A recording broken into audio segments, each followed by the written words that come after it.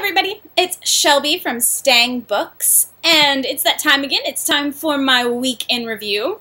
This was a busy week, but yet I still managed to get in back to my normal reading habits, so there's quite a long list of books to go through today, so I'm to jump right in and get to it.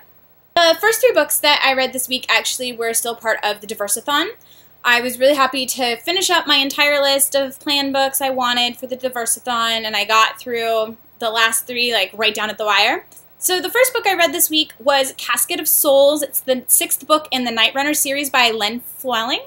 This was a five-star read. I love this series. It's a fantastic fantasy series.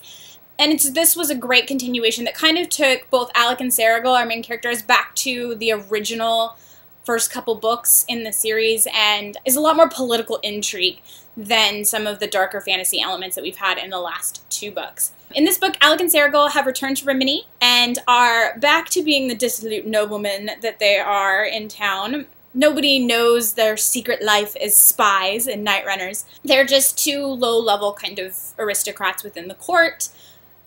But at night, things go a little bit differently.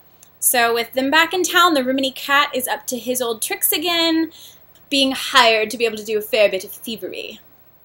Well, there are two factions building in Rhíminee. One that wants to see the succession happen the way that it is currently established, and the other that wants Klia to take over as queen. Queen Phoria has two sisters. One, Princess Klia, is in charge of the military. She would much rather be on the front lines with her soldiers. And on the other side, her other sister has a daughter that Queen Phoria has named as her heir. Alec and Seregil stumble across the plot, at least pieces of the plot, and are trying to piece together what is really going on and who's really involved. Meanwhile, there is a plague rising in the city, and people are suddenly dropping dead in a waking death kind of state where they are completely unresponsive, but they may live for a few more days in this kind of brain dead state. And Alec and Seregil have a lot of friends in the lower classes and are trying to figure out exactly what's going on as they're still trying to figure out who is set on trying to kill off the queen and or Princess Klia, depending on which side you were on. This was a really, really fantastic read. It's a lot of court intrigue and who's on whose sides, and you get little hints and pieces of things. Just a really fantastic book. It was really nice to see everyone back home in Rhíminee and back in the world that we first got introduced to. And it moved along the story really nicely and put a few characters with, with things that you've been waiting for. They finally happened in this book. And it just was a great, great story. I really, really enjoyed this. I found it immensely satisfying, and it's just a great fantasy series. I love this world. And as part of the DiverseAThon, this book really does deal with class and how where your class matters with the plague is only killing off people in the lower um, society. The upper echelon and the nobility want to just close off those parts of the city and just pretend kind of like it's not happening and it doesn't affect them. And the, Seregil and, and um, Alec are our eyes and ears on both sides. And so you get to kind of see what it means to be a noble, but also what it means to be someone who is a, a beggar or one of the prostitutes and how the world differs for each of them and how status really affects the life in this world. The second book that I read was Femme by Marshall Thornton. This was a three star read for me. It is a male male romance. And the thing about this book was I really loved the way it was looking at the dichotomy of the different types of gay stereotypes. Um, but it was really sadly lacking in the romance department. The characters were really interesting. I loved the character of Lionel. I thought he was fantastic. He's this totally queenie, over the top gay man, flaming gay, absolutely out there. Um, and he was just really fun and funny and you liked his personality and his character. And then on the other side, you had Dog, who is a gay man who has been in the closet most of his life and really is only out to a small group of people. He plays on a gay softball league. And that was his way of finally getting to be in a place where he felt accepted. Well, he's very butch, he's very uh, straight acting and straight passing. He makes a lot of mistakes when it comes to Lionel. They're on opposite ends of the spectrum, and the way that they look at being gay and the way that they interact with each other is affected by those perceptions. It makes Lionel question a lot of things about his own self and should he need to change. And it also, there's a, a path of Dog coming to understand and accept Lionel for who he is. The problem is that while Lionel's journey was really interesting and he actually tries to pass at times and um, makes an attempt at, at figuring out who he is and what he really wants and how to just be himself and be comfortable with himself, Dog is constantly making the wrong choice.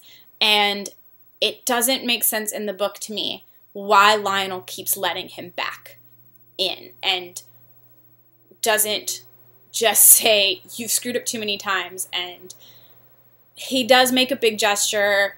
It does come out well. I get it. It was it that part was really nice, but he had hurt him so many times.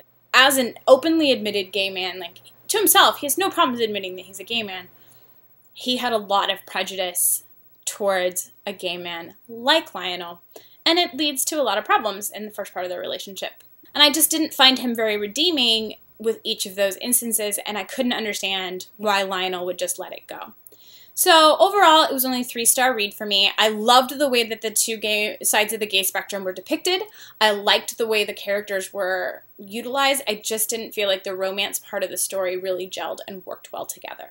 My third and last book for the DiverseAThon was Quiet the Power of Introverts in a World That Can't Stop Talking by Susan Cain. I gave this five stars. This book was incredible.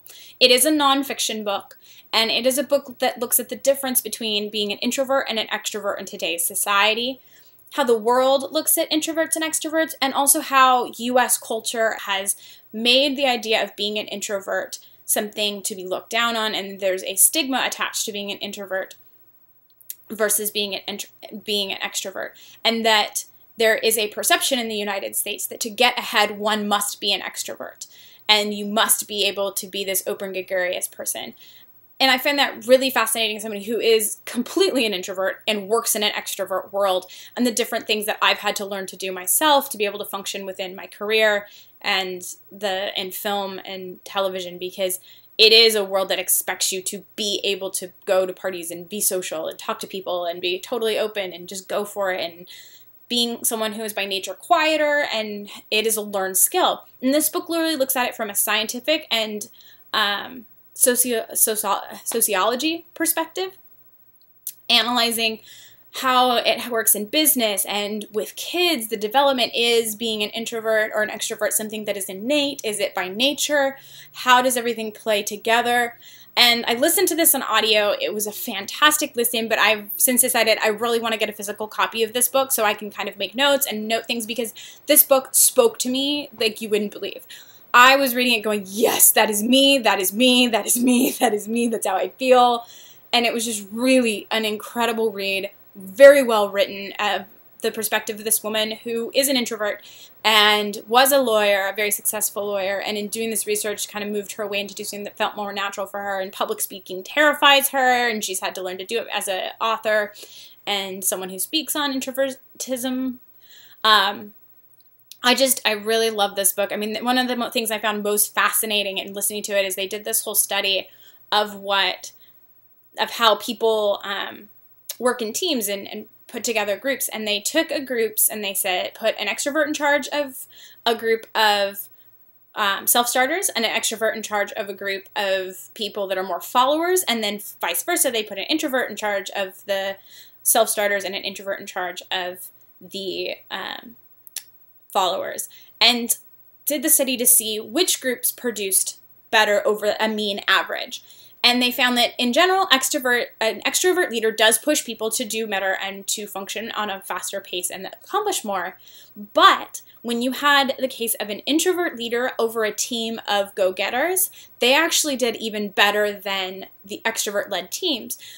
In large part, the reason being that that introvert leader will listen to everyone else's ideas, take it all, filter it and give it all thought and then come up with the best plan to utilize moving forward. So while it may take those teams a little bit longer to get started, overall they have a better, more productive full path and plan that takes them to greater heights than the extrovert led team did. I just found it really fascinating to look at the way that different people lead and what it means to be a leader and how perception affects what we think as as a country and as a people. So, really really fascinating book. I recommend everyone should read this book. It was just incredible. I, I really loved it and like I said I really want to get a physical copy of this book because I want notes. After the ending of the DiverseAThon, I read another six books, I think. I think I had nine books total this week. And the first of those was Natural Instincts by S.J. Frost. It is the first book in the Instinct series. I gave it a three and a half stars. This is a vampire paranormal male male romance. There are parts I liked about this series and the story, and then parts I didn't like. It actually left me wanting to read book two more than I enjoyed book one. I really liked the characters that they introduced that you know are going to be book two. This story is about Andreas Nicandros, and his sister has recently died, and he is convinced that she's been killed by her lover, Renard, that he has been told is a vampire. So he goes into Renard's bar to kind of do some reconnaissance because he knows as a human he can't kill him. He doesn't have the ability. So he wants to find somebody to become his master and turn him. And on his way into the bar, he catches eyes with this guy outside and just kind of dismisses it. But later, when Renard throws him out of the bar and leaves him to his minions, this same guy shows up and saves him. Well, this is Titus Antonius Caldus, and Titus has been around since, as evidenced by his name, the Greek and Roman days. He's one of the ancients, and the ancients have more power than younger vampires because in this version of vampirism, the longer that you are alive, the more power that you have. So, Titus is drawn to Andreas. He makes a deal with Andreas. If he can come and live with him for a month and be his lover at the end of the month, he still wants to be a vampire, then Titus will turn him. Of course, this is a romance, so the relationship between them, it's this insta love connection, which doesn't bother me as much in paranormal as it does with other stories, because in the paranormal, there's that already that fantastical element that if these two meet, I kind of get a can accept that suddenly they looked at one another and it was just bam. It was an interesting relationship. I liked the way the world was structured. The plot was kind of minor to what was going on. This was really about Andreas and Titus and what was going on between them. And it was just, it was an okay, it was a good read. I enjoyed it, but I wasn't like raving about it. I'm really curious to read about Daniel and Ryu because they were introduced in this book and I liked their characterization better. Anyway, I, I, definitely will read the next book in the series and see if that keeps my interest. But it was fun. It was enjoyable. It was a quick read, nothing too long, just not as deep as I would have liked it.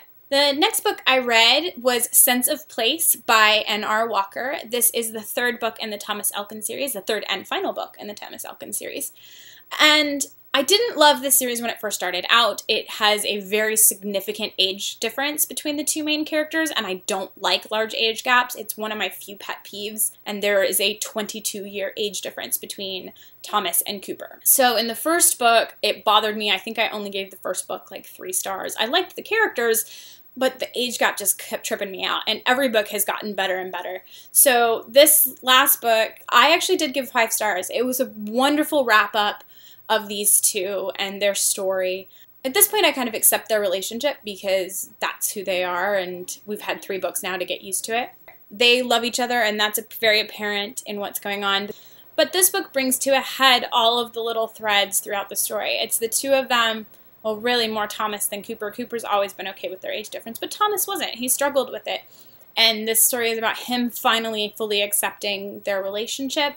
It's their families fully accepting their relationship and them moving into places in their career where they're really happy to be at and making some changes that are better for them moving forward. So, this was a really lovely story. It wrapped a lot of things up. The whole series is very short. I think each book is maybe 100 pages. They're not really long at all you could probably put all three of them together in one book, it would have been fine. But I really enjoyed the series. It was a lot of fun. Um, and the characters are what the story is about, and I really by the end of it was really behind Thomas and Cooper as a couple. Next, I had a book I really loved. This was recommended to me for a challenge that I kind of had to read this book this month. It was not on my radar at all. It was incredible. It was called A Fortunate Blizzard by L.C. Chase. Give this a full five stars. I sobbed through this book. I just had tears streaming down my face.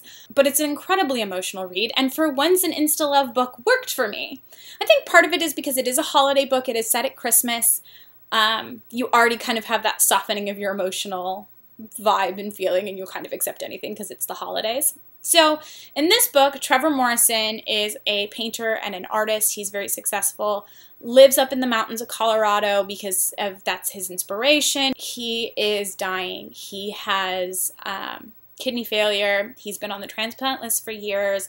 He's been doing dialysis regularly, and now his kidneys have started to fail again and it's Christmas time, and he's supposed to be getting back to go see his family for Christmas, but there's a massive snowstorm blowing in. Meanwhile, on the other side of town in Denver, is our lovely Marcus Roberts. Now, Marcus is a lawyer. He is very, very committed to his work. He's given up everything else in his life. He had a very tempestuous relationship with his family, and they kicked him out essentially for being gay. And he has put all of his focus in trying to prove himself to gain his mother's respect, even though he hasn't talked to her in over 10 years.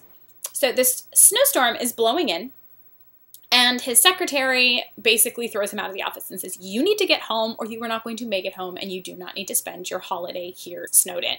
So get your butt home. And of course, on his way home on the freeway, it, the snowstorm is so bad the plows can't get through and everything, and the state patrol is kind of telling people to pull their cars over. And there's a motel across the street and they should just go and wait out the storm in this motel. So Marcus gets a room. He is enjoying a hot cup of brandy beverage, you know, some warmed alcohol with a little bit of cold going on when the most handsome man he's ever seen wanders in the door and can't get a room at the end because it's overbooked, which of course this is Trevor. This is a beautiful love story between two men, and I don't care that it happens that quickly because the emotion in these pages was there. I just bought into the fact that they instantly fell in love with each other because their actions were all about being in love and caring about the other person. And the choices that they made really showed that that was the case and that they really cared. And I'm not kidding, there were just waterworks and streaming. And i'm sitting there like wiping my eyes so i can keep reading the pages because it was so good. I, I just really love this book. The writing was lovely. It's not a super long book. It's pretty short. But it was a great holiday christmas story that you could get behind and feel good and just make your heart go pity pat. The next book i read was bone crossed by patricia briggs and this is the fourth book in the Mercy Thompson series. I gave this four and a half stars. I really love this series. I think it's really great. They're a wonderful paranormal series about Mercy Thompson. She is a Native American coyote shifter, and hers is like a shamanic, shamanic powers kind of. It's innate in her bones. Her nature as a coyote is very different than the werewolves in this book. The werewolves have a much more force change and the pack hierarchy, and her being a coyote is a totally different style of magic. So this book starts up almost right after, it's like very short time after the book before this end. It's only been a couple weeks. And in the last book, um, Mercy was raped and kidnapped by this really nasty guy. So this book was really dealing with, especially in the first part of it, her PTSD and how she feels after having gone through all of this. Um, and it really moves her relationship with Adam forward, the alpha of the werewolf pack. And all of that is kind of a subplot to everything else that's going on because there are issues with the vampires. The queen of the vampires, Marsilia, well, she's the queen of the vampires in that area. She's not the queen overall. There's like higher powers than her. But she's like the head of the seethe. Um, she's found out that Mercy had, was really the one that killed some of her vampires. And so she tortures and basically almost kills one of her subordinates, uh, Stefan, who's friends with Mercy and was involved in covering it up. So Stefan just is essentially dumped into Mercy's living room, almost dead, in the middle of Mercy and Adam kind of talking and deciding on things in their relationship because Adam wants to claim Mercy as his mate, and she's been a very hesitant. She was raised by werewolves, and she doesn't know that she wants to be part of a pack. This book is a lot of Mercy figuring out what's going on with the vampires, and there's more to the plot than meets the eye, and she is trying to figure out her place within the pack and what she wants from Adam, and admitting to herself finally that she really does love Adam and she really does want to be with him. And this was just, it was a great book in that how it handled her trauma from the book previous and um, just everything that she's dealing with and going on and ties up some loose ends from before, introduces some new themes. It was just a really fun book. I enjoyed it immensely. Um, I really like her as a character, which is unusual for me. I don't normally like series books that just go on and on and there's like 10 books in the series when it's all one character. But I'm really enjoying this one so far. I think it's a lot of fun. So. The next book I read this week was Crucible of Fate. It's the fourth book in Mary Calmes' uh, Change of Heart series. And again, this was a four and a half star read for me. I've really enjoyed this series as a whole, and Mary Calmes can be kind of hit or miss for me. This book was a good continuation of the series. It switches our focus off of the main two characters that we followed up until now, and is kind of a side story with one of the alphas. Domin Thorne, or Domin, Domin, terrible with pronunciations. So Okay, I'm getting a ton of shadows and light right now because the sun is behind the tree outside my apartment window and it is coming in in like the most random light patterns. So, weird light and shadow, sorry. Um, is taken over as the Seminole Aten in Sobek, and this story is a Were Panther story. It's very much based in Egyptian mythology. The heart of this Were Panther nation is in Egypt. And at the end of the last book, there was a challenge for rulership due to a lot of complicated things, and Domin won. But he has no idea what he's doing. He's just been thrown to this. He's an American, and these clans have been there for centuries, and this whole hierarchy structure of the priests and his um, advisors and these Egyptian clans that aren't so excited to have an outsider suddenly in charge. So there is a whole subsection that want to see him outed and a different Were Panther put in charge. And so those factions are conspiring to overthrow Domin. This book was great because we got to see all of our favorite characters coming into play, but it, it's really a story of Domin accepting who he is, who he loves, what he wants, and coming into his own as a leader, as an alpha, accepting that part of himself again, because his past has led him to doubt it and now he really has to take control and that it's okay to change tradition that it is okay to say these things are no longer valid and the rules that are in place are detrimental to us as a society and i am going to now take the Were Panthers into the 21st century. I enjoyed this book. There were little things in it that irritated me. Um, as far as why it got knocked down a half star. It's a very hard book to pick back up when I hadn't read much in the series recently because it took me a little while to get into it. I couldn't remember exactly what happened. There are a ton of names and titles in this, and it matters to what's going on and not knowing what a title means, and they're all in like um, they're very specific to this book, and I'm sure have some tie into like Egyptian culture or something that I just don't know enough about to know. But if you don't remember what a Seminole is, then every time they use the word, you're going, oh crap, what does that mean again? And each of his like advisors has a different title, and each of the challengers has a different title.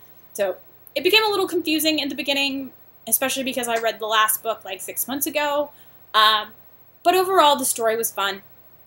It really solidified a lot of things, settled them into who they are and what they want, and took things to the next path for the Panthers. My last book this week was actually a short and combined two series I really, really enjoyed. There I, I love both these authors. They're fantastic. This book was called Remnant, a Caldwell and Feximal Whyborne and Griffin mystery.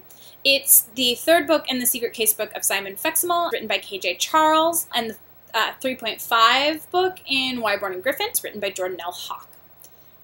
This was such a brilliant idea. Both of these worlds are set in late 1800s. Um, this book actually takes place in 1899. And they're both paranormal MM romances about the same couple in every book. And I love both of them. The Secret Case Book of Simon Feximal is actually a collection of shorts.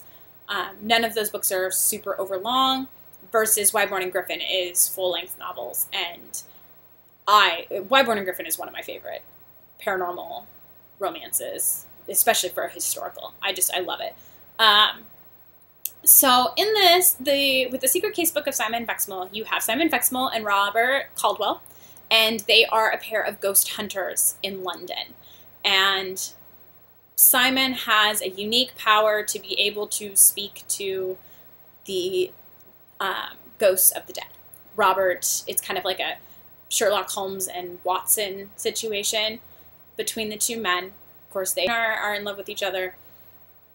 And they have a new case and people have been dying around London in very mysterious circumstances.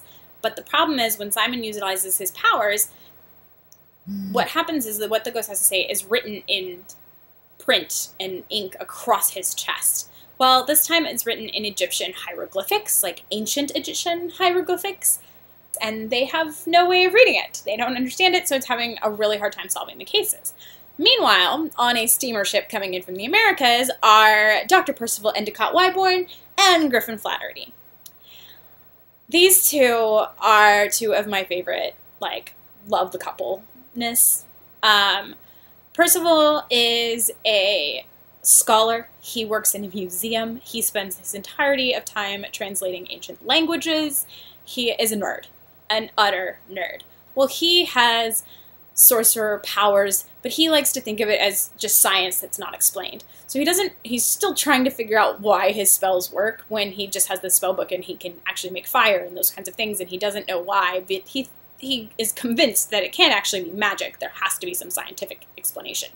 But he's a total nerd and a klutz. He met, in the first book, Griffin Flaherty, who is a, who used to be a detective with the Pinkerton Detectives Agency, and Pinkertons were, in the United States history, the precursor to the FBI. They were like the first national kind of detectives. And um, he came across a paranormal case that no one believed him had occurred. He left and has become a private detective in Whyborne's hometown. They met on the first big paranormal case there and have since solved a couple of crazy paranormal episodes.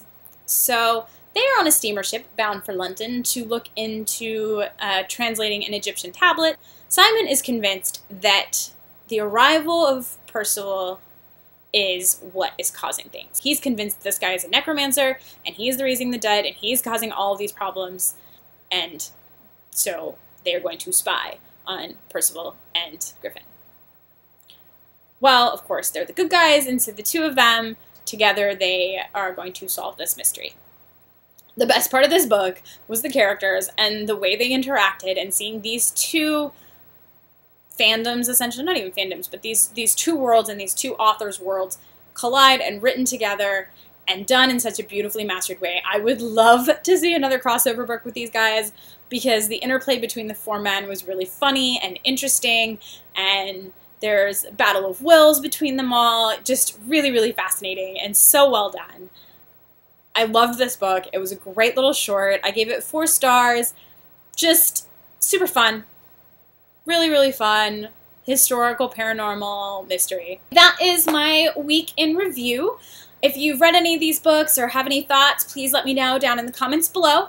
I look forward to hearing what you have to say. It was a really great week reading for the DiverseAThon, and I really felt like I, I got through some things that I, I wouldn't necessarily have gotten to as quickly um, especially Quiet. I mean, Quiet just really, really made my month. I can't, I am so happy I read that book, and I don't think I would have gotten to it as quickly without the DiverseAThon, so just really amazing. Great week of reading. I can't wait to keep moving on and love to know what y'all think. Have a great day. Bye!